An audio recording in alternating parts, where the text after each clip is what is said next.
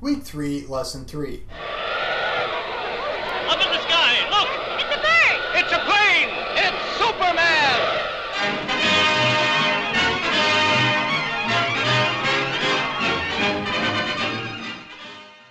In Action Comics number 1, the world was introduced to Superman. But what made this character so appealing that over 75 years later, he's still a significant part of the pop culture landscape? Early Superman was a very simple character. He saw the world in black and white. There were no shades of gray. If something was wrong, he would do everything in his power to fix it. In many of his early issues, he would tackle social problems. In Action Comics number 3, Superman finds out that a subpar equipment from a mine owner has caused a cave in. This causes Superman to go undercover as a miner to look at the poor conditions. Then he goes to the mine owner and tricks that mine owner and his friends into going into the mine, where he traps them until the mine owner agrees to improve working conditions. In Action Comics number 4, Superman stops a crooked coach from using thugs in a football game. In Action Comics number 7, he stops the circus from going bankrupt. In Action Comics number 8, he tackles juvenile delinquency. In Action Comics number 10, Superman tackles the maltreatment of prisoners. Action Comics number 12 is my favorite. Superman takes on traffic violations. After someone gets hit by a drunk driver, Superman pretends to be killed by a drunk driver and then follows that driver everywhere, haunting him. Once the drunk has learned his lesson about drinking while driving, Superman finds out who's making the worst cars in the city, then goes to that factory and destroys it. He then kidnaps the mayor, drives the car really fast, telling the mayor that his lack of enforcing speed laws is costing people their lives. The mayor changes his ways and starts enforcing traffic laws. Despite the fact that the majority of Superman's actions were illegal in this issue, his heart was still in the right place, and he's portrayed as a good guy because everything worked out in the end. Now, you may have noticed that Superman's not up against the toughest foes. No one in this series provided a serious challenge to him for the first year of his appearances. This book was like comfort food. There was an unstoppable hero trying to help out the innocent, and that hero always won the day without any real trouble. In Action Comics number 14, Superman's first reoccurring villain was introduced. A bald man, a scientist named the Ultra Humanite, actually managed to trap Superman for a full six panels before Superman escaped by simply flexing his muscles. However, Superman was not able to capture the Ultra Humanite, and he got away. Issue number 17, the Ultra Humanite returns as a surprise villain who is leading a gang. When Superman goes to arrest him, he finds out that he was facing a projection of the Ultra Humanite the entire time. It's brains versus brawn, and it's an even match. Action Comics number 19. Ultra Humanite, just called Ultra in this book, tries to unleash a plague on the city. When Superman bursts into his lair, Ultra uses a special gun he made to take Superman down. After Ultra pulls the trigger, Superman uses his speed to pull Ultra out from behind the gun into his own line of fire, effectively killing the man. You could make a good argument that pulling someone into the path of an incoming bullet is murder. Superman shows no remorse about this. In January 1940, Action Comics number 20, Clark Kent takes a trip to Hollywood, where he stops someone from assassinating a movie star, Dolores Winters. She thanks Kent and promises him an exclusive interview later, but when Clark Kent comes to collect, she has no clue who he is and acts very dismissive of him.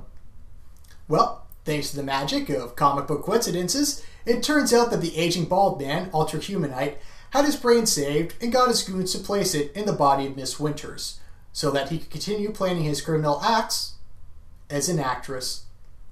Superman stops her, and the comic book readers were introduced to what could potentially be the first transsexual character of the 20th century. Well, it turned out that Ultra's change was too controversial for the average reader. In February 1940, in issue number 21 of Action Comics, Ultra made her last return before being ignored for decades. A scientist was harnessing atomic power, but the side effects were creating explosions. So, Ultra, in the body of Miss Winters, tries to steal the research. Superman stops her, but the scientists manage to split the atom, and a big climax takes place in a volcano, which, of course, is erupting. Ultra gets away, and Superman tells the scientists to forget everything he's learned about splitting the atom. The absence of Ultra Humanite led to a new mad scientist being created, Lex Luthor, whose first appearance had him selling weapons overseas to some warring nations. Superman stops him, but Lex becomes obsessed with Superman, challenging him while simultaneously committing crimes. It's brains versus bronze, but like before, Superman is easily able to save the day in the end. One day, one of the artists forgot to draw Luthor with hair. Jerry Siegel, still upset over being unable to use Ultra Humanite, told the artist to keep it that way. It was only in Action Comics number 47 when Lex Luthor would change the dynamics in Superman's comics and superhero comics forever, when he temporarily gained superpowers, making him a Superman. This was a Superman versus Superman battle that the readers, mostly kids at this point, couldn't get enough of, and changed the way comic fights were made. This opened up huge possibilities. Before, Superman would fight man made monsters and high tech gadgets in the realm of, at least at that time, plausible science fiction. Lex Luthor just got a magic ring that evened the odds against Superman. Before this, it was Superman, a fantastical creation, mostly facing real world problems. Now we had Superman facing another fantastical creation. The character of Superman soon escaped the limits of his comic book. Superman would go on to be the star of a radio show. The radio show added some things to the mythology.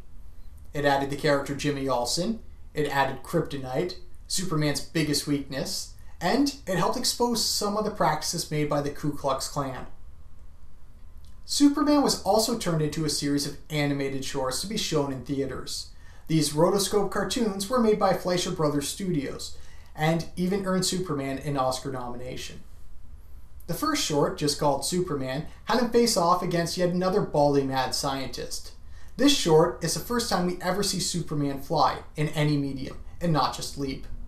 The short is considered one of the most influential pieces of animation ever made.